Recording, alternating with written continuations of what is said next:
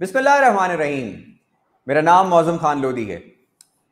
नाजरीन C S S की तैयारी शुरू करने वाला हर स्टूडेंट इस उम्मीद से तैयारी का आगाज़ करता है कि वो एक ना एक दिन कामयाब ज़रूर होगा। और अगर आप कामयाब हों और कामयाब होने के साथ साथ आपको अपनी डिजायर्ड एलोकेशन भी मिल जाए, फिर तो कमाल हो जाता। आज इसी तरह की एक सक्सेस स्टोरी जो है हम आपके सामने जो है लेकर आए हैं। मोहम्मद रजा नाइन्थ पोजिशन पाकिस्तान के अंदर। रजा सबसे पहले तो आपको बहुत बहुत मुबारक। Thank you very much Raza मैं एक चीज़ जो हमेशा एक, एक टॉप टेन स्टूडेंट से जो है वो मेरी ख्वाहिश रही है कि मैं हमेशा उससे पूछूँ। रजा अपनी डिजायर्ड एलोकेशन भी मिली आपको माशाल्लाह। उसके अलावा टॉप टेन में भी आप आए। उसके अलावा आप सूबे के अंदर अपने सूबे के अंदर भी आपने अपनी फ़र्स्ट पोजीशन ली। कैसा महसूस कर रहे हैं? जरा हमें बताएँ और हमारे नाजरीन को बताएँ कि कैसी रही है सारी की सारी जर्नी सर वेरी ऑनेस्टली सबसे पहले तो I would like to thank you and World Times के they have given me such an opportunity and they've considered me worthy enough to be presented in in front of the audience that we have. Uh, coming towards your question sir uh, यकीन करें जिस वक्त result आया और there was a very there was a very nice friend जो second uh, भी आया यासिर नज़ीर उन्होंने मुझे कॉल की। और उन्हें बताया कि यार आपकी तो नाइन्थ पोजीशन आई है एंड आपने सूबे में भी टॉप किया आपको पुलिस सर्विस भी मिल गया मैंने कहा यार तुम मज़ाक कर रहे हो। ऐसा हो ही नहीं सकता। मतलब ठीक है हो सकता है एलोकेशन हो गई हो। uh, ये भी हो सकता है पुलिस सर्विस भी मिल गई हो क्योंकि लास्ट अटेम्प्ट में भी बड़े अच्छे नंबर थे। तो आई वॉज़ लाइक हो सकता है। लेकिन जब हम्म। उसने नाइन्थ पोजीशन का बताया जनरल मेरिट की सीट तो definitely this was unbelievable and I waited for the official result to announce मैंने कहा यार वेबसाइट पे आए ताकि then I can call my father first and then my mother and my other brothers and sisters के अल्लाह ताला का बड़ा करम हो गया है और अल्लाह ताला ने बड़ी इज़्ज़त जो है वो बख्शी है। तो I think this this was it उसके बाद obviously I have been in state of euphoria for the last three days समझ ही नहीं आ रही कि कैसे पाँच minute before passing the exam और पाँच minute after passing the exam life किस तरह चेंज हो जाती है? Like I I can I can clearly feel a difference माशाल्लाह माशाल्लाह। अच्छा रजा uh, ये सीएसएस की जो सारी जर्नी थी आपकी मुझे ये बताएँ और खासतौर पे स्टूडेंट्स भी जानना चाहते होंगे कि ये was it a plan journey कि आप हमेशा से सीएसएस वाली फ़ील्ड में इधर आना चाह रहे थे गवर्नमेंट सेक्टर में आना चाह रहे थे या सडनली आपका जो है अचानक प्लान बना के चलें सीएसएसपी जो है इसको भी ट्राई करते हैं? Basically, uh, during my time at IBA, where I was doing my BPA, तो वहाँ पे अराउंड 2014 में if I am not wrong Rana Bhagwan Das साहब जो है, वो एक लेक्चर देने आए थे आई ए के अंदर। और वहाँ पे उनसे बड़े सारे सवाल हुए, उन्होंने बड़ी एक बेहतरीन किस्म की प्रेजेंटेशन दी कि how people from such top institutions should join the civil services and serve the public तो उसका बड़ा इन्फ्लुएंस रहा। और हम्म। उन उनका मेरे साथ किस्मत बड़ी अच्छी थी कि डीन एंड डायरेक्टर ने उनके साथ इंट्रोड्यूस भी कराया उनके साथ थोड़ा इंटरेक्शन रहा। तो that was one of the key turning points which made me realise that apart from the corporate sector of Pakistan which which is an open opportunity for any any BBA graduate from from a very nice ranking institute एक civil services के option को भी explore uh, कर सकते हैं। So that's when I start exploring it and 2017 में after graduating in 2015 2017 I gave my first attempt uh, जिसमें I I unfortunately failed in essay और उसके बाद during this time I had also joined the State Bank of Pakistan uh, where I was working as an assistant director जी हाँ तो उसके बाद I gave my second attempt in 2019 right right right so Raza, you were already you were already working as a assistant director at State Bank और बहुत ज़्यादा students जो हैं वो खास तौर पे आपसे इंस्पिरेशन भी इस चीज़ की लेंगे कि आप यू वर्किंग असिस्टेंट डायरेक्टर लेकिन उसके साथ साथ फिर आपने सीएसएस को भी क्लियर किया और ना सिर्फ़ क्लियर किया, बल्कि आप टॉप टेन के अंदर आए और अपनी डिजायर्ड एलोकेशन ली। तो जरा उन स्टूडेंट्स को थोड़ा सा गाइड करें कि जो स्टूडेंट्स जो हैं, वो अपनी जॉब के साथ साथ जो है वो सीएसएस की तैयारी करना चाह रहे हैं तो वो किस तरह अपनी तैयारी को लेकर चले और किस तरह उनको सारा कुछ प्लान करना चाहिए? सर बेसिकली uh, मेरा शुरू से यही प्लान था कि सी एस एस देना क्योंकि obviously I had certain mentors I have certain seniors जिन्होंने ये बात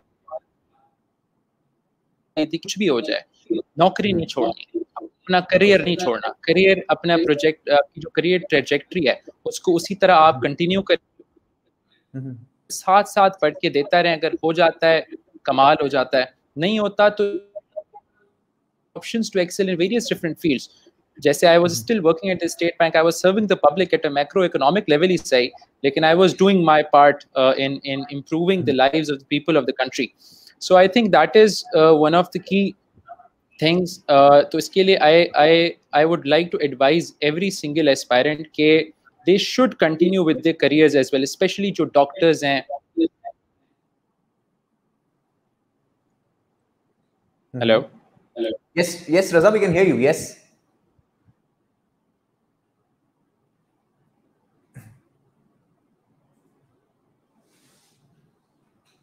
Uh, मेरा ख्याल है कि थोड़ी सी डिस्टॉर्शन जो है हो गई है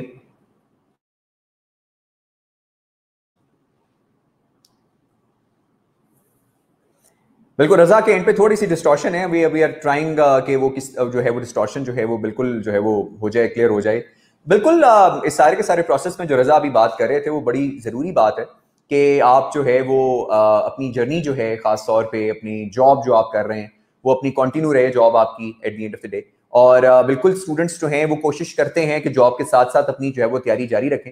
और मैं भी उनको यही सजेस्ट करूँगा जिसने रजा भी सजेस्ट कर रहे थे, कि आप जो है अपनी जॉब को कंटिन्यू रखें। और जॉब के साथ जो है आप अपनी तैयारी बिल्कुल जो है वो कर सकते हैं। और खास तौर पे जो आपके स्केड्यूल है कि किस तरह स्केड्यूल बनाएँगे किस तरह स्केड्यूल बनाना चाहिए आ, उसको भी हम इंशाल्लाह जो है उसको देखते हैं रजा से पूछते हैं। जी रजा अब आपको मेरी आवाज़ आ रही है? यस सर जी बिल्कुल। तो हम कुछ स्टूडेंट्स को बता रहे थे रिगार्डिंग उन स्टूडेंट्स को जिन्होंने अपनी जॉब के साथ साथ अपनी जो है वो तैयारी करनी थी। जी रजा। जी। जी सर तो स्पेशली जो कि काफ़ी सारे कैंडिडेट्स होते हैं जो आपके सी एस एस्पायरेंट्स जो कि डॉक्टर्स होते हैं इंजीनियर्स होते हैं and these are some of those fields जिनकी पाकिस्तान को बहुत ज़्यादा ज़रूरत है।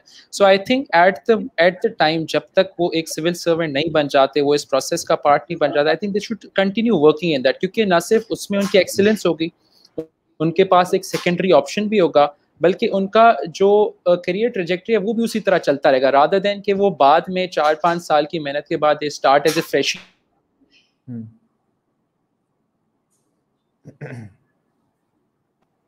opportunity to to to do this right right right okay इसके अलावा एज फार एज जी जी as far as if you if you ask me about what kind of a strategy uh, that mm-hmm. people should adopt uh, so definitely i had certain edge uh, since I was working at the State Bank of Pakistan, which which highly regards the work-life balance. Mm-hmm. तो बड़े सुकून से time मिल जाता था to study to to focus on on on various various subjects और plus वहाँ पे इंटरेक्शन होता है आपके बड़े सारे लोगों के साथ वहाँ पे आपको कई सारे और लोग भी मिलते हैं जो खुद सी एस एस एस्पायरेंट्स होते हैं मेरे खुद काफ़ी सारे जो सीनियर्स हैं they were source of motivation who kept me going despite all this angle से वो आपकी जो है वहाँ पे हेल्प करते हैं।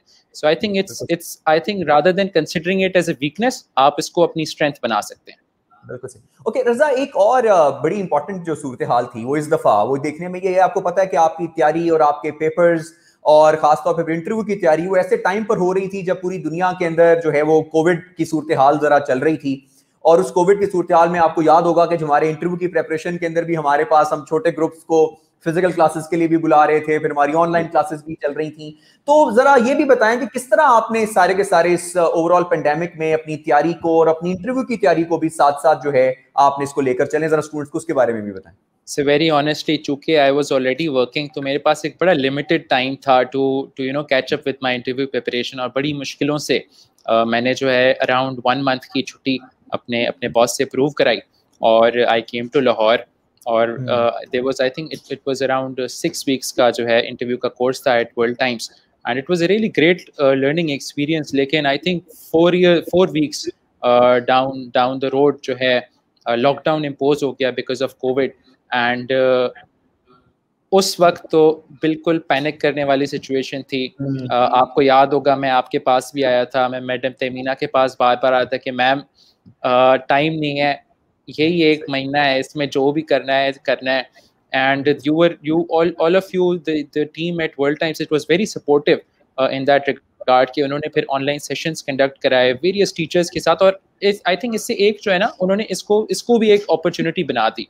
Uh, कैसर बंगाली इकोनॉमिस्ट हो गए आपके जो है वेरियस अदर पीपल जो आउट ऑफ़ कंट्री थे they gave us lectures and such an insight into into our economy into our current issues कि वो शायद उस वक्त लाहौर में अवेलेबल नहीं होता। So it was it was kind of a blessing in disguise other than that uh, during that time there was another strategy that most of us adopted uh, जिसमें ये था कि certain people क्योंकि वहाँ पे जब आप आते हैं एकेडमी में तो आपके साथ सारे वही लाइक माइंडेड लोग होते हैं uh, जिनके साथ आपकी एक इक्वेशन मैच हो जाती है। और फिर उन सब लोगों के साथ वेरियस uh, वेरियस लोग जो इस बैच में पास हुए हैं उनके साथ हमने बैठ के साथ मिलकर तैयारी की टॉपिक्स डिवाइड किए एक दूसरे को पढ़ाया और आ, सर अदील न्याज ने हमें जो है एक प्लेस भी अरेंज करके दी जहाँ पे हम लोग जाके स्पेशली साइकोलॉजिकल जो एक्टिविटीज़ होते थे उनको प्रैक्टिस करते क्योंकि उसके लिए आपको ऑडियंस चाहिए। आप घर पे बैठ के ये चीज़ें प्रिपेयर नहीं कर सकते। So this was the opportunity that was provided there at at World Times and despite the COVID I think I think we did we did a great job माशाल्लाह माशाल्लाह। और दूसरा रिजा आप खास तौर पे क्योंकि आप माशाल्लाह आपने इंटरव्यू के अंदर भी जो है बड़ा बेहतरीन स्कोर जो है वो किया होगा। आ, मुझे अभी तक याद है वो वो टाइम जो है जब आपका जो है इंटरव्यू के फ़ौरन बाद जब हमारी डिस्कशन हुई थी कॉल पे मुझे आपकी वो इंथ्यूजियाज्म वो पैशन जो है वो आपका जो है वो वही तक मुझे याद है। कि जिस तरह कॉल पे हमारी बात हुई और हम ये डिस्कस कर रहे थे कि इंशाल्लाह जो है आप अच्छी एलोकेशन जो है आपकी होगी अच्छे नंबर्स आपके आएँगे। तो जरा just walk us through the entire interview day कैसा प्रोसेस था? किस तरह जो है वो सारे का सारा कंडक्ट हुआ और किस तरह क्वेश्चंस जो आपके साथ उन्होंने पूछे? सर देर वॉज़ डेफिनेटली एक जरा एडवांटेज था compare to people who were just running into the interview room based on their own preparation वो ये था कि when I entered into the interview room ऐसा लग रहा था कि यार I have been through all of this ठीक है? I I know I know how to enter I know how to greet them I know when to sit I know how to speak I know how to tackle their questions I know how to dress I know कि what kind of questions they are going to going to be you know throwing upon at me तो इस हिसाब से एक बड़ा relax situation थी कि किया हुआ है दो तीन दफ़ा किया हुआ है इन ताला एक और दफ़ा भी कर लेंगे and it it won't be much of a problem तो बेसिकली uh, आप हम तकरीबन इस दफ़ा इन्होंने दो बैचेस में डिवाइड किया था। There was a nine A M batch and फिर eleven A M batch I was in the second batch और उसमें मेरा पहला पहला था। तो I reach there around eight around ten one one hour before before my reporting time तो वहाँ पे बैठे थे। जी रजा एस्पायरेंट्स uh, जी हाँ। हाँ जी दूसरे एस्पायरेंट्स भी वहाँ पे थे। उनके साथ थोड़ी सी uh, ब्रेन स्टॉमिंग भी कर रहे थे ज़रा जो है आइस ब्रेकिंग भी कर रहे थे बस ट्राइंग टू इंगेज कर रहे थे कि अपनी जहन को जो है ना इंटरव्यू से ज़रा थोड़ा बाहर निकालें ताकि बंदा हम्म। अंदर बहुत रिलैक्सड काम कॉन्फिडेंट होके जाए Uh, उसके बाद तो बस जैसे इंटरव्यू के रूम के अंदर गए तो कैप्टन जाहिद सईद साहब ही ही ग्रीटेड मी और उन्होंने उन्होंने मुझे सीट लेने को कहा and he started with that के आप माशाल्लाह स्टेट बैंक में काम करते हैं और आप आई बी से पढ़े हुए हैं, आपकी इकोनॉमी पे जो है वो बड़ी अच्छी कमांड होगी। तो आप ज़रा बताएँ कि how has COVID affected Pakistan economy और वे डू यू सी हम लोग हम लोग किस तरफ़ जा रहे हैं?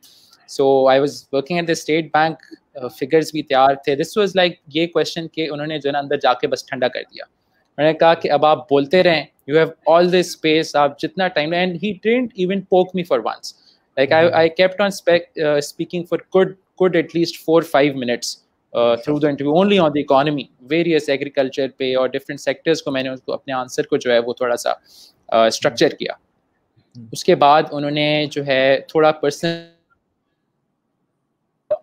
sir am I audible yes yes you are audible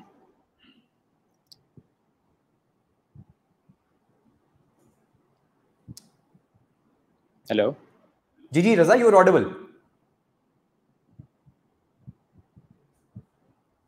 जी हाँ तो फिर उन्होंने थोड़ी पर्सनल प्रोफ़ाइल मेरी डिस्कस की। उन्होंने पूछा कि कराटे आपकी हॉबी आपने लिखी है तो आप कहाँ प्रैक्टिस करते रहे हैं? क्या क्या अवार्ड्स आपने उसमें लिए थे? कौन से बेल्ट्स जो है आप आपने सिक्योर किए थे? उसके बारे में थोड़ा पूछा। मोटिवेशन पूछी कि सिविल सर्विसेज़ क्यों आ रहे हैं? इतनी अच्छी आप जॉब कर रहे हैं this is a well paid job ये पूछा उन्होंने उन्होंने जो है I was also recently selected for the Fulbright scholarship तो उसका उन्होंने पूछा कि अब लेट सपोज़ आपको डिजायर्ड एलोकेशन मिल जाती है तो हाउ डू यू सी कि विल यू गो और विल यू डिफर इट और how will how will you go about it तो कैप्टन जाहिद सही साहब ने उन्होंने कोई टोकन क्वेश्चन नहीं पूछा मुझसे। This was all about my personal profile this was all about मतलब वेयर माई स्ट्रेंथ लाइट मेरा जो भी साइकोलॉजिकल परफॉर्मा मैंने भरा था ना डे वन पे साइकोलॉजिकल डे वन पे आई थिंक वो उनके सामने पड़ा था और वो बस उसी में से ही uh, मुझे जो है काउंटर uh, क्वेश्चन कह रहे थे hmm. उसके बाद when we move to various other the various other members जिसमें जो है नफीस जक्रिया साहब थे uh, और और और दूसरे एफ़ पी एस सी मेम्बरान थे they they focused mainly on on history questions क्योंकि ज़रा सा ट्रेंड चल रहा था लाहौर और इस्लामाबाद सेंटर से के token questions Pakistan history European history पे बड़ा सारा फोकस कर रहे थे तो I had certainly prepared past question जो भी उन्होंने पूछे हुए थे। मतलब I was keeping a very close I मैंने पूरा एक वर्ड डॉक्यूमेंट बनाया हुआ था। कहीं से भी कोई इनपुट आता, सवाल का यूज़ टू टाइप इन और उसकी रिसर्च करता, उसका आंसर वहाँ पे लिखता। तो काफ़ी सारे सवाल उसमें से रिपीट हुए। चूँकि मैंने खुद अपनी भी कुछ इन डेप्थ स्टडी की हुई थी US history was also one of my subjects तो उसमें बड़े इंटरेस्टिंग सवाल पूछे। मतलब उन्होंने ये डेट्स वगैरह मुझसे नहीं पूछी। देवर लाइक के अच्छा चलो, रजा, ये बताओ। For example I take name of few places आप बताएँ कि वो किधर हैं उनकी क्या सिग्निफिकेंस है? तो उन्होंने माउंट रशमोर का फॉर एग्ज़ाम्पल पूछ लिया। तो मैंने उनको बताया कि वो साउथ डकोटा में होता है। uh, क्या है? मैंने बताया कि फोर प्रेसिडेंट्स होते हैं। फिर वो उस भी सवाल पूछे कि कौन से फोर प्रेसिडेंट्स हैं? तो मैंने चार नाम बता दिए। उन्होंने कहा अच्छा तीन तो इसमें बड़े uh, इतने अहम लीडर्स हैं। एक जो है आपका saviour of the Union Lincoln है आपका फाउंडिंग फादर जॉर्ज वाशिंगटन है आपका architect of the Constitution Thomas Jefferson है टेडी रूजवेल्ट क्यों है इसमें ठीक है ना? तो that was a very interesting question मतलब मैंने कभी नहीं सोचा होगा कि वो uh, इस किस्म का सवाल मुझसे पूछेंगे। तो I was like I was I I thought about it for for a few seconds और मैंने कहा. कि sir I am not sure but if I am allowed to take a guest I can take a guest मैंने बोला अच्छा लो। तो basically मैंने guess लिया कि चूँकि ये टेडी रूजवेल्ट के टाइम पे बना था इस वजह से उसकी जो है पोर्ट्रेट इसमें थी। And and he said that was the correct answer तो थोड़ी लक भी साथ थी। आ, थोड़ा गैस वर्क भी चला। ऑब्वियसली क्योंकि माहौल थोड़ा सा लाइट लाइटर मोड की तरफ़ चला गया था। वो हंस रहे थे बातचीत हो रही थी। मतलब कभी भी ऐसा नहीं लग रहा था कि बहुत फॉर्मल बैठा हूँ मैं। रजा माशाल्लाह आपका एक बड़ा एक कंपोज्ड जो है वो आंसर देने का स्टाइल जो है है और माशाल्लाह आप जो है जरा धीमा लहजा भी है आपका। लेकिन ये सारे का सारा प्रोसेस बड़ा हेक्टिक है।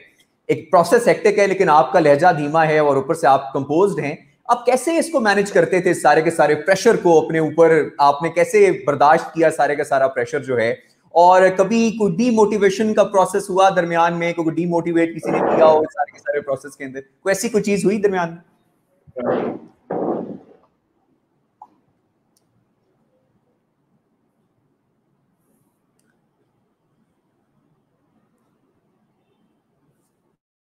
साथ जो है we we trying once again Raza के साथ हमारा कांटेक्ट जो है वो हो जाएगा।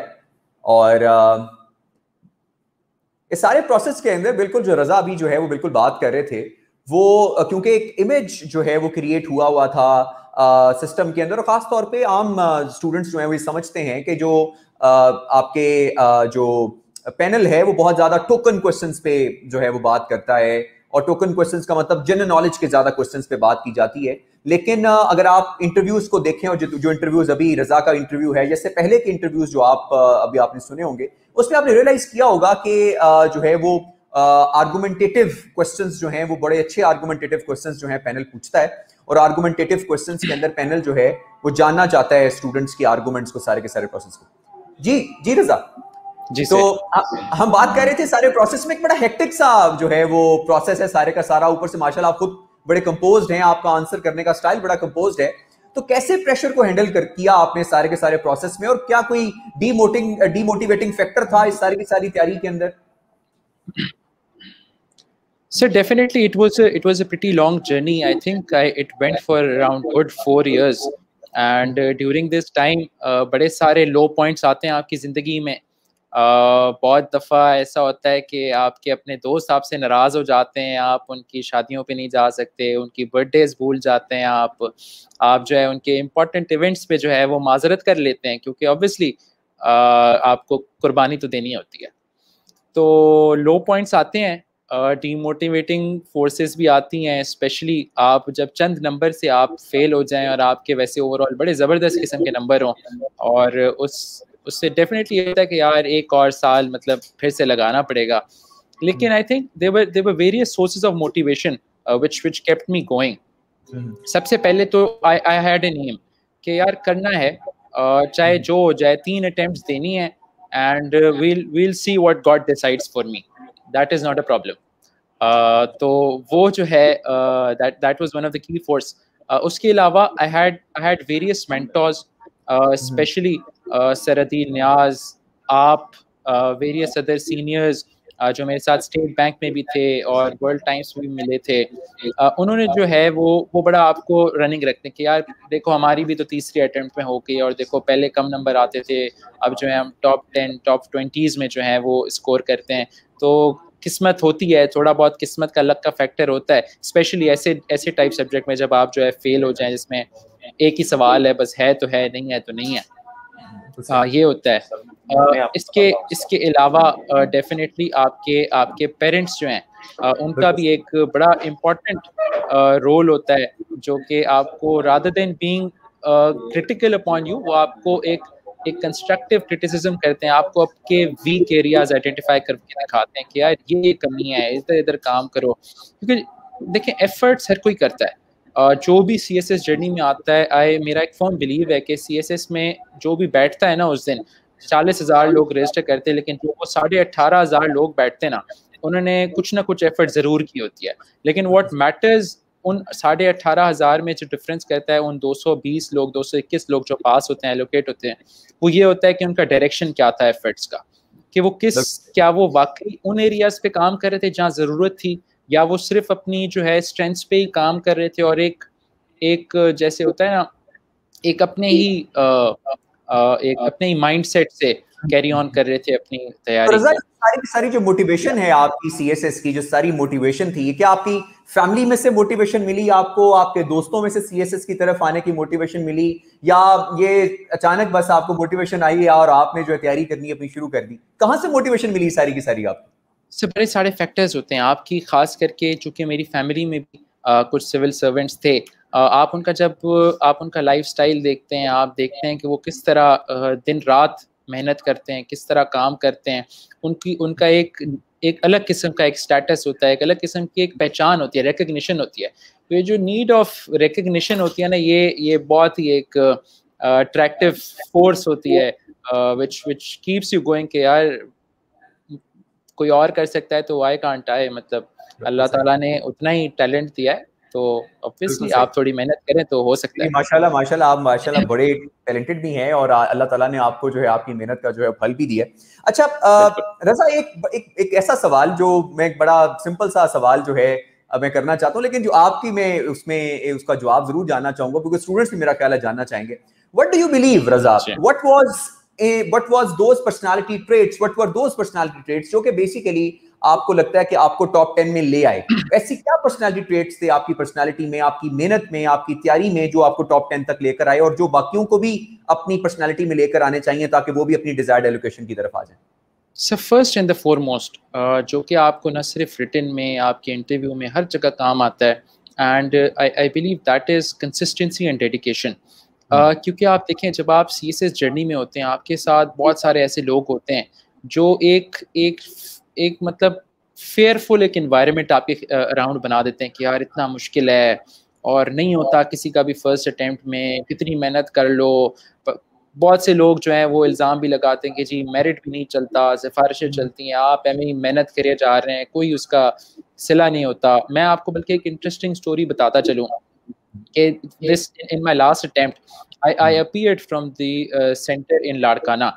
ठीक है ना? तो just one night before I had arrived there तो वहाँ पे एक साहब आते हैं मेरे साथ और वो वो वो खुद एक एस्पायरेंट रह चुके होते किसी ज़माने में।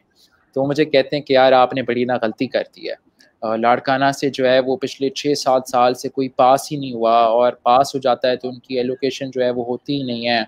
और जो है आपको नहीं देना चाहिए। आपका लास्ट अटैम्प्ट है आप छोड़ दें आप वापस जाएँ आप दोबारा अप्लाई कीजिएगा इक्कीस में और कराची में दीजिएगा। तो मेरे अबू भी वहीं पे बैठे थे तो जैसे ही वो चले गए तो ऑब्वियसली मैं थोड़ा डाउन फील कर रहा था कि यार आखिरी अटैम्प्ट है शायद शायद गलती कर दी है इधर देख के। लेकिन अबू ने बड़ा मोटिवेट किया उन्होंने संभाला उन्होंने कहा यार दुनिया में हर कोई जो है ना आ, हर चीज़ पहली दफ़ा कोई ना कोई करता है। तो अगर तुम पे है तुम्हें खुद पे कॉन्फिडेंस है तो करो। And out to be like that. Uh, so आपके फादर जो है आपके फादर भी एक एक बहुत बड़ी मोटिवेशन फैक्टर जो थे आपकी सारी की सारी तैयारी में जो थे। अब मैं आपके आंसर से इस चीज़ को कर रहा हूँ। तो अगर अगर आप अभी जो है घर में मौजूद हैं और आपके फादर जो है करीब ही आपके पास हैं तो हम ज़रूर आपके फादर से भी जो है बात करना चाहेंगे ताकि पता चले और वो हमें पूछे उनसे भी कि क्या जो है उन्होंने दुआएँ जो है अपने बेटे के लिए की उनके बेटे ने कैसे जो है मेहनत की? अगर आपके फादर आपके पास हैं तो ज़रूर उनको भी आप जी। सर अगर आप मुझे दो मिनट दें तो मैं उनको जी जी जी आप ज़रूर अपने फादर फादर को भी लेकर आए। चले। I I be back just give me a minute इस सारे प्रोसेस में बिल्कुल रजा जिस तरह बात कर रहे थे माँ बाप की दुआ माँ बाप का जो आपके ऊपर जो एतबार होता है और वो जो जिस तरह आपको मोटिवेट करते हैं सारे के सारे प्रोसेस में और देखते हैं कि किस तरह हमारे जो बच्चे हैं वो मेहनत कर रहे हैं माँ बाप का बहुत बड़ा रोल जो है सारे के सारे प्रोसेस में होता है। आप लोग जो तैयारी कर रहे हैं ऑलरेडी आप लोग भी अपने माँ बाप की दुआएँ लें और यकीनन वो भी आपके साथ जो है प्रॉपर आपका साथ देते होंगे, आपको मोटिवेट करते होंगे। और किसी ना किसी तरह वो जो है इवन दो वो शायद कुछ लोगों के माँ बाप उतना कंट्रीब्यूट इस इस कॉन्टेक्स्ट में शायद ना कर सकते हो कि उनको पढ़ा खुद पढ़ा रहे हो उस टाइम लेकिन हाँ वो बैक ऑफ़ द जो है, वो आपके पास इंडिविजुअल वो सारी की सारी मेहनत उनके माँ बाप की जो है, वो सारी की सारी ज़रूर होती है। तो जिस तरह अब रजा जो है, वो नाइन्थ पोजीशन पर आए हैं टॉप टेन के अंदर आए हैं, जारी बात है बहुत प्राउड मूवमेंट जो है माँ बाप के लिए होता है। और ज़रूर जो है, रजा के वालिद साहब से भी पूछने की कोशिश करेंगे, क्या, कैसा वो फील कर रहे हैं? और उसके अलावा जो है जब उनको पता चला कि उनके बेटे की पोजीशन आई है तो कैसा जो है उन्होंने महसूस किया सारे के सारे प्रोसेस में। जी sir my father is here और आप it's all over to you अस्सलाम वालेकुम जी अस्सलाम वालेकुम जी अल्हम्दुलिल्लाह जी आपको बहुत बहुत मुबारक हो जी आपके बेटे ने जो है एक तो पूरे पाकिस्तान में टॉप टेन में पोजीशन ली अपने पूरे सूबे के अंदर उनकी फ़र्स्ट पोजीशन आई और मुझे उम्मीद है कि बाकी माँ बाप की तरह आप भी जो है काफ़ी जो है वो खुश होंगे और आप प्राउड फील कर रहे होंगे। तो जब रजा ने आपको बताया कि उनकी पोजीशन आई है और वो कामयाब हुए हैं तो जरा बताएँ हम सबको स्टूडेंट्स को कैसा फील कर रहे थे आप उस टाइम सर मैं दरअसल गाँव से बाहर गया था। जैसे काम के सिलसिले में। तो मैं जैसे घर पहुँचा घर पहुँचा गाड़ी से उतरा तो ये भी मुझे गले लगा। और मुझे भी जो है वो ये एक्सपेक्टेशंस तो थी कि अल्लाह के फजल से ये हो जाएगा। तो मैं भी रो पड़ा। तो दोनों बाप बेटे एक खुशी के मौके पे ये खुशी के आँसू थे। हम दोनों जो है वो गले मिल के रो रहे थे। और उसके हम्म। बाद फिर जो है जैसे ही तो सबसे पहले मैंने जो है अल्लाह के फजल से शुक्राने के नफिल पढ़े।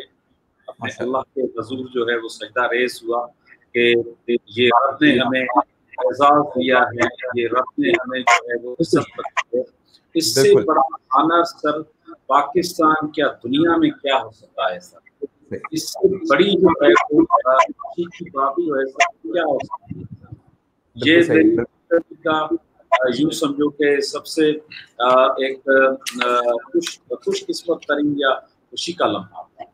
बिल्कुल और मैं तो जी, मैं तो ये समझता हूँ कि अपने बच्चों की कामयाबी को देखकर माँ बाप जो है, वो एक दफ़ा फिर जवान हो जाते हैं।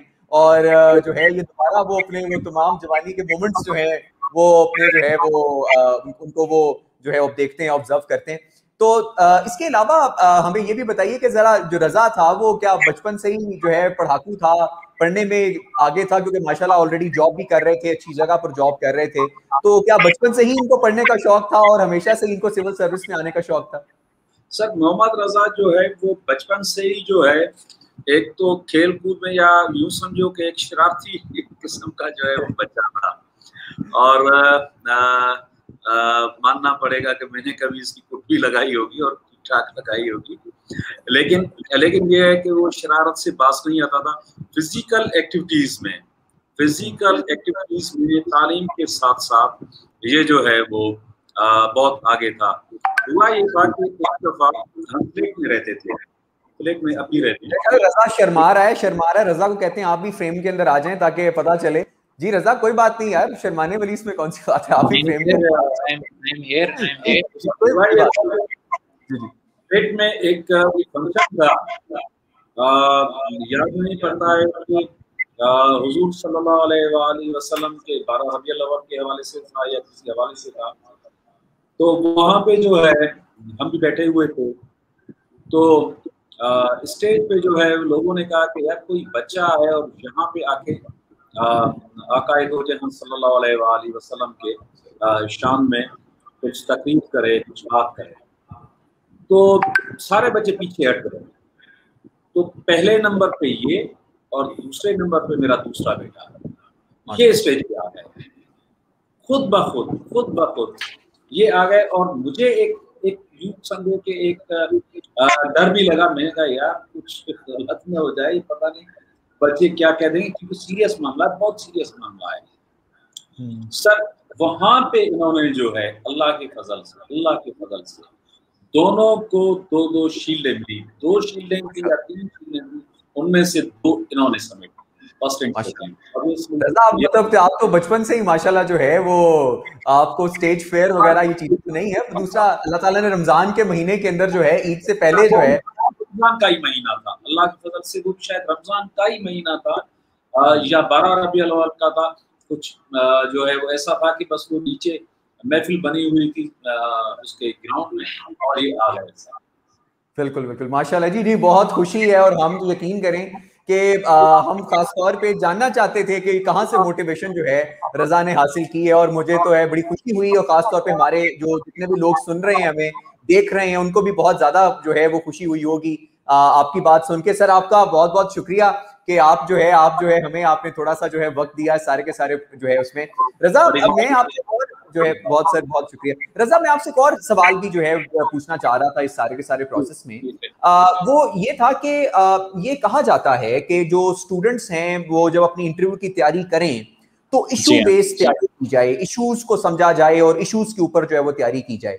तो क्योंकि आपका फ़र्स्ट हैंड एक्सपीरियंस है सारे का सारा जो इंटरव्यू का तो आप जरा मुझे बताइए और खास तौर पे तमाम जो हमारे सुनने वाले उनको बताएँ कि जो पैनल है वो कितनी डेप्थ चाहता है आंसर के अंदर? क्या वो सिर्फ़ basic knowledge of the question जानना चाहता है या इन डेप्थ आंसर भी जानना चाहता है वो किसी ना किसी क्वेश्चन सर देखें फर्स्टली uh, uh, मेरे हिसाब से uh, जो भी इंटरव्यू का एक क्लाइमेट सेट होता है इंटरव्यू की जो एक पेज सेट होती है वो चाहे कोई माने ना माने लेकिन वो आप ही के जो कैंडिडेट होता है उसके हाथ में होती है। उसका उससे जो साइकोलॉजिकल परफॉर्मा भरा होता है उसने जिस किस्म की अपनी चीज़ों को हाईलाइट किया होता है जिस अंदाज से उसने अपनी चीज़ों को लिखा होता है वो ऑब्वियसली कैच करता है उनको और वो उसको बहुत बहुत गौर से पढ़ते हैं। तो वो एक क्लाइमेट तो वहीं सेट हो जाता है। जहाँ तक इश्यूज़ का ताल्लुक है डेफिनेटली uh, चूँकि ये रिटर्न एग्ज़ाम नहीं है आपके पास कोई ऑप्शन नहीं होता कि आप कोई सवाल स्किप कर दें या चॉइस पे छोड़ दें ये नहीं होता आपके पास। तो हम्म, हम्म, जब वो। आपके पास सवाल करते हैं और आप उसका जवाब देते हैं और अगर उनको सेटिस्फैक्ट्री लगता है डेफिनेटली वो आपको ज़्यादा और ज़्यादा एक्सप्लोर करना चाह रहे होते हैं। खास करके अगर आपकी स्ट्रेंथ हो और स्ट्रेंथ पे वो बात करें तो यकीन करें मतलब एक एक डिस्कशन हो जाती है एक डिबेट हो जाती है आपको थोड़ी देर में ऐसी फीलिंग आती है कि आप कोई फेडरल सेक्रेटरीज रिटायर्ड इतने हाई पोस्ट पे बैठे हुए लोगों के साथ नहीं बल्कि आप अपने दोस्तों के साथ अपने कॉलीग्स के साथ आप एक डिस्कशन कर रहे हैं शायद। तो इस किस्म का जो है एक एक माहौल सेट हो जाता है और वो आपको फिर जो है ना इंट्रीक करते हैं आपको काउंटर क्वेश्चंस करते हैं वेरियस वेरियस डायमेंशन से पूछते हैं। आपको कहीं कहीं आपको टेस्ट भी करते हैं। आपको गलत गलत लीड्स भी देते हैं कि आप देखते हैं पकड़ते हैं कि नहीं पकड़ते हैं उनको। और जिसको भी खुद पे कॉन्फिडेंस होता है और उसको अपने नॉलेज नॉलेज होती है उस चीज़ की वो उन गलत लीड्स की तरफ़ नहीं जाता। वो बल्कि हाईलाइट करता है कि सर आई बिलीव कि ऐसा नहीं है लेकिन अगर आप कहते हैं तो we will definitely look into it अच्छा रजा आपने अपने अपने आंसर के अंदर एक बात बताई थी कि शायद बड़े दोस्तों की जो है वो बर्थडेज मिस कर दी आपने शादियाँ मिस कर दी। तो जब आपका रिज़ल्ट आया है तो जिन लोगों की शादियाँ मिस हुई हैं या बर्थडेज मिस हुई उन्होंने मुबारकबाद के लिए तो फ़ोन ज़रूर किया होगा आपको। बिल्कुल बिल्कुल। और उन्होंने मुबारकबाद के साथ उन्होंने कहा कि ठीक है तुमने हमारी दावत तो नहीं खाई लेकिन अब आपको दावत ज़रूर देनी पड़ेगी इस चीज़ की। तो this is the cost that you have to bear लेकिन I think it's it's worth it it's worth it बिल्कुल ज़रूर बिल्कुल ज़रूर। और अच्छा रजा आखिर में हम कुछ जो है वैसी चीज़ों को जरा अंडरस्टैंड करते हैं। क्योंकि हमारे पास कुछ ऐसे स्टूडेंट्स भी जो है आपकी बातें सुन रहे होंगे जिन्होंने बिल्कुल तैयारी स्टार्ट से करनी है स्क्रैच से तैयारी करनी है। शायद उन्होंने अभी सब्जेक्ट सिलेक्शन के बारे में भी नहीं सोचा होगा सिर्फ़ वो ये सोच रहे होंगे और आपको देखकर इंस्पिरेशन ले रहे होंगे।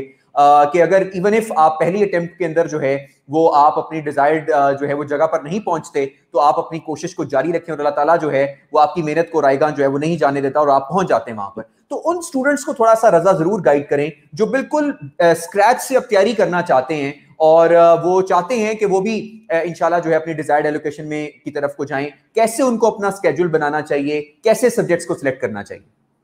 सर uh, मैं कोई I highlight a couple of things in in regards to this सबसे पहले तो सर uh, जो जो भी फ्रेश एस्पायरेंट्स हैं और वो आगे जाके आगे जाके सी एस एस देना चाह रहे हैं सबसे पहले ऑब्वियसली मोस्ट इंपॉर्टेंट तो यही होता है कि आपको अपनी सब्जेक्ट सिलेक्शन करें आप अपने ऑप्शनल सब्जेक्ट जो है वो सिलेक्ट करें क्योंकि 600 मार्क्स वो होते हैं ठीक है ना। आप पास कंपलसरी की बेसिस पे हो जाते हैं लेकिन आपकी जो एलोकेशन होती है वो जब तक आप ऑप्शनल्स में जो है अच्छे नंबर अचीव नहीं करते आपको अपनी डिजायर्ड एलोकेशन नहीं मिलती नहीं। तो मेरे मेरे मेरे हिसाब से ऑप्शनल सब्जेक्ट की सिलेक्शन में जो है कुछ चीज़ें उनको जो है वो जेर नज़र जो है वो लानी चाहिए सबसे हम्म। पहले तो ये कि इस इस फियर से निकलें कि कोई सब्जेक्ट्स जो हैं वो हिट होते हैं कोई सब्जेक्ट्स जो हैं वो uh, किसी साल के जो है वो उनको अच्छा डिज़ायर्ड रिज़ल्ट नहीं आता I think that's not the case अगर आपकी जो भी आपकी स्ट्रेंथ है आप सबसे पहले उसको पकड़ें। अब जैसे I was I was a BPA student और मेरे 300 मार्क्स बड़े स्ट्रेट फॉरवर्ड थे 200 अकाउंटिंग के सौ बिज़नेस सेट के जिसका आखिरी आखिरी अटेम्प्ट में तो मैंने दो दो दिन भी तैयारी नहीं की होगी। ठीक है ना? हम्म। क्योंकि I was very much confident कि चार साल पढ़ा है इन एंड आउट जानता हूँ कहीं से भी हम्म। सवाल पूछ लें I know how to tackle it ठीक है ना? ठीक है सौ में से सौ नहीं आ जाएँगे तो अस्सी आ जाएँगे सत्तर आ जाएँगे still really really really good good count of marks तो आप अपनी स्ट्रेंथ्स पे जो है वो उस पर खेलें। uh, आप अगर इंजीनियर हैं आप अगर साइंस के बैकग्राउंड आप यकीन करें आपको साइंस के सब्जेक्ट उठाने चाहिए। सॉलिड नंबर है। आपका सवाल दुरुस्त है तो आपके 20 में से 20 नंबर हैं और इससे ज़्यादा गोल्डन अपॉर्चुनिटी आपको दूसरे किसी और सब्जेक्ट में जो है वो नहीं मिलेगी। उसके हम्म। साथ साथ फिर सेकंड नंबर पे चूँकि कुछ सब्जेक्ट्स आपको ऐसे उठाने होते हैं जो आपने कभी नहीं पढ़े होते तो उसमें हम्म। आप अपनी इंटरेस्ट पे जाएँ। अब आए मैं चूँकि एक दफ़ा एक्सचेंज प्रोग्राम पे यूएस जा चुका था फुल ब्राइट का भी मेरा प्रोसेस चल रहा था तो यूएस हिस्ट्री का एक बड़ा शौक था पढ़ने का बचपन से ही कि यार कैसे अमेरिका बना कैसे वो जो है इस वक्त one of the most powerful nations of the world है। तो आपको आपके इंटरेस्ट होते जब आप उनको पढ़ते हो ना तो आप आप बोर नहीं होते। ठीक है ना आपको वो टर्मिनोलॉजी आधी से ज़्यादा वैसी आती होती हैं। आप सिर्फ़ उनको एक स्ट्रक्चर कर रहे होते हो कि अच्छा ये इस वजह से हुआ था ये इस वजह से हुआ था इसमें ये ये चीज़ें थी इसमें ये ये नई बातें थी। तो आप बहुत एक रिलैक्स मूड में होते हो आप थकते नहीं हो उसको उन, उन सब्जेक्ट्स कवर करते हुए।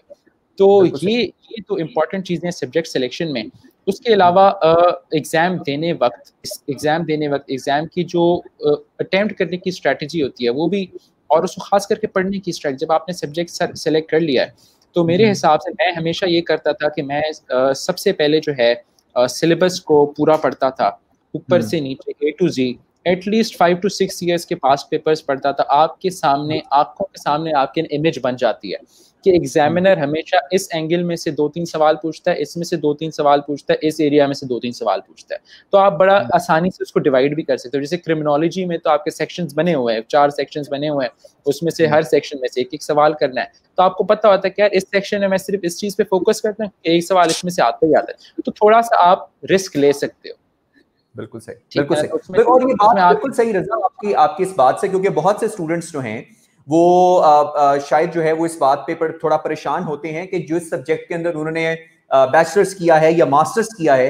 वो कंफ्यूज होते हैं क्या कि कोई क्या वो सब्जेक्ट जो है हमें सीएसएस के लिए उठाना चाहिए कि नहीं उठाना चाहिए। तो वो स्टूडेंट्स अगर हमें सुन रहे हैं तो रजा आपके सामने जो है मौजूद है इन्होंने बल्कि अपनी स्ट्रेंथ को जो है उस पर उन्होंने खेला है और जब आप अपनी स्ट्रेंथ पर खेलते हैं तो आप रिज़ल्ट जो है वो आपके सामने है और आप टॉप टेन के अंदर जो है वो ज़रूर आते हैं। एब्सोल्यूट सर और जैसे इस दफ़ा तो डीएमसी नहीं आई लेकिन जो 2019 में थी मेरे ख्याल से I had around 170 marks accounting में।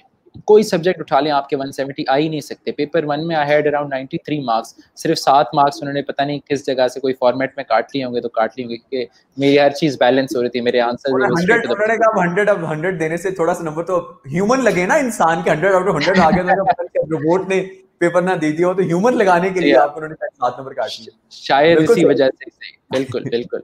बिल्कुल तो... चले रजा और जो है आखिर में बस जाते जाते जो है वो आपसे बस एक छोटा सा सवाल स्टूडेंट्स के लिए जो जो है वो जो आपको देख रहे हैं और आप माशाल्लाह इंशाल्लाह जो है वो बड़े लोगों के अब जो है वो एक आइडल बन जाएँगे और उनको लगेगा कि अच्छा ये जो है वो हमने इनकी तरह जो है पोजीशन जो है वो लेनी है। उन स्टूडेंट्स को क्या पैगाम जो है वो आप देना चाहते हैं? सर उनके लिए आ, मेरा यही पैगाम है कि देखें आ, ख़ास करके मेरे अपने गड़ी खैरो आई बिलोंग टू तालका गड़ी खैरो एक बड़ा मामूली सा तालका है जैकबाबाद के। यकीन करें मैं उस दिन था मेरे से एक साफ़ी इंटरव्यू भी ले रहे थे। तो मैंने कहा आप सामने देख रहे हैं स्कूल है पिछले छः महीने से फ़ंक्शन नहीं है ठीक है ना वहाँ पे कोई टीचर नहीं आता। इस किस्म के हालात में जो लोग होते हैं उनके लिए बड़े इससे डीमोटिवेटिंग फैक्टर्स होते हैं बड़ी सारे उनको चैलेंजेस फेस कर रहे होते हैं। लेकिन आई बिलीव जब वो उन चैलेंजेस को ओवरकम करते हैं थ्रू वेरियस मेजर्स तालीम मेरा एक बड़ा वेरी स्टॉन्च एक बिलीफ है कि पाकिस्तान के हर नौजवान को कलम का जो हथियार है उसको उठाना चाहिए राधा देन कि वो कोई ग्लाशन कोव का हथियार उठाए। और जब वो कलम का हथियार जो है वो उठाएगा, उसको इस्तेमाल करेगा, अल्लाह ताला उसको इज़्ज़त देगा। आप बैरून मुल्क चले जाएँ, आप बड़े बड़े आप यूएस में चले जाएँ आप कहीं भी चले जाएँ आप चाहे कितना पैसा हो आपके पास कुछ भी हो अगर आपके पास बोलने का ढंग नहीं है अगर आपके पास बैठने का ढंग नहीं है अगर आपके पास तालीम नहीं है आपके पास आपको अंग्रेज़ी ना आती हो बेशक लेकिन अगर आपके पास नॉलेज है आप उन, आपकी एक स्ट्रेंथ जो है उनको पता है कि यार इस बंदे को पता है he knows what is speaking वो आपको बेपनाह इज़्ज़त देते हैं बेपनाह इज़्ज़त देते हैं। तो मेरे हिसाब से हमारे नौजवानों को जो है तालीम का ये हथियार उठाना चाहिए इसको इस्तेमाल करना चाहिए क्योंकि पाकिस्तान की तकदीर हो या उनकी अपनी तकदीर हो वो कोई और बाहर से नहीं आएगा बदलने के लिए। उनको खुद को ही जो है जद्दोजहद करनी होगी। और अगर वो जद्दोजहद करेंगे तो मेरा मेरा ईमान है कि अल्लाह ताला उनको ज़रूर नवाजता है ज़रूर नवाजता है।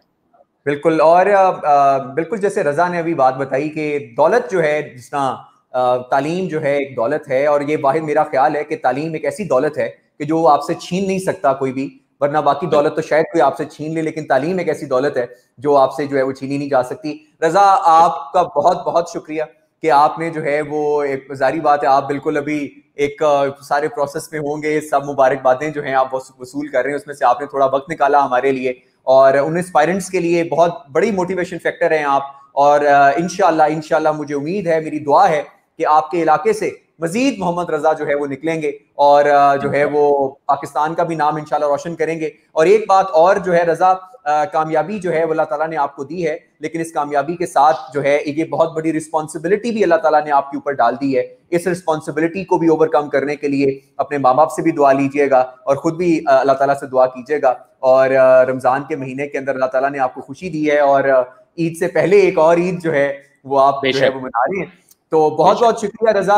It was it was a player talking to you और आपके वालिद साहब से बात करके भी जो है वो बड़ा हमें बहुत खुशी हुई। जी Raza. Thank you very much sir आपका वर्ल्ड टाइम्स का मेरी जो भी ऑडियंस इस वक्त हमें देख रही है I would like to tell them कि आई एम ऑलवेज अवेलेबल उनको किसी चीज़ की गाइडेंस हो मुझे आपके थ्रू अप्रोच कर सकते हैं मुझे कहीं भी फेसबुक पे ढूंढ सकते हैं किसी भी लिहाज से मुझे अप्रोच कर सकते हैं I would always be there to share my experience and to help them uh, in whatever capacity uh, that I can. और uh, आपका ख़ास करके सर uh, मौज़म आपका बड़ा शुक्रिया।